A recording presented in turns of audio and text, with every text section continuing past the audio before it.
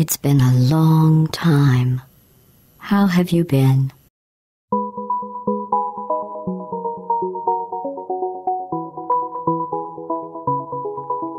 I had a way.